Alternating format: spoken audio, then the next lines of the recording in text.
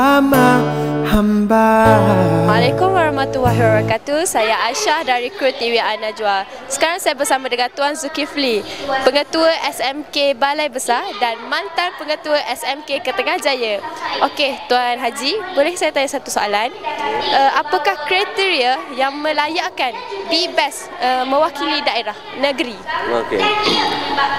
Terima kasih. Uh, Assalamualaikum warahmatullahi wabarakatuh. Uh, pertamanya sejarah uh, SMK Balai Besar ataupun BBES yang sebelum ini pernah memasuki uh, pertandingan anjuran Petronas yang dipanggil All About Youth dengan uh, kajian bertajuk biodiesel. Jadi untuk Toyota Eco Youth ni pihak JPN meminta sekolah-sekolah menghantar proposal kajian. Jadi adalah beberapa sekolah yang hantar termasuk uh, kita Balai Besar pun hantar. Kemudian selepas dibuat penilaian oleh pihak Jabatan Pendidikan Negeri Terengganu, pihak jabatan telah memilih dan masih berminat uh, dengan projek biodiesel uh, SMK Balai Besar. Jadi dengan itulah uh, maka JPN memilih kita untuk mewakili Terengganu dalam pertandingan Toyota Eco Youth ini.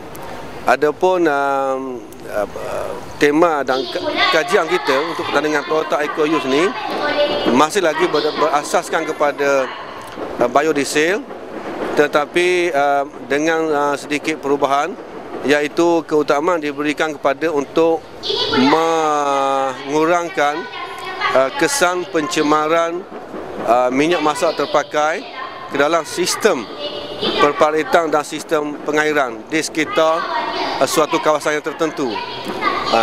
Minyak-minyak yang kita jimatkan ini yang terpakai ini barulah kita proses menjadi biodiesel. Jadi biodiesel itu menjadi suatu kesan atau hasil sampingan daripada projek ini. Yang penting sekali lah bagaimana kita nak mengurangkan kesan pencemaran uh, minyak masak terpakai ke dalam sistem pengairan dan boleh uh, mengurangkan pencemaran di alam sekitar kita. Itu dia. Manusia yang jahil ke.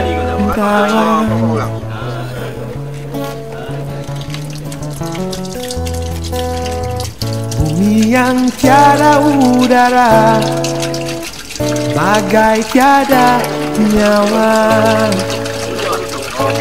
Pasti hilang suatu hari Tanpa disadari dari